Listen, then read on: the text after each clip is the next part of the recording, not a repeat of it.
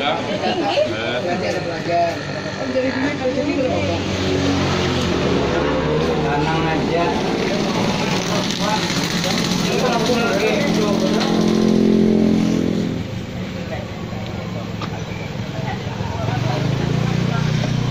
menertibkan masalah warung-warung malam.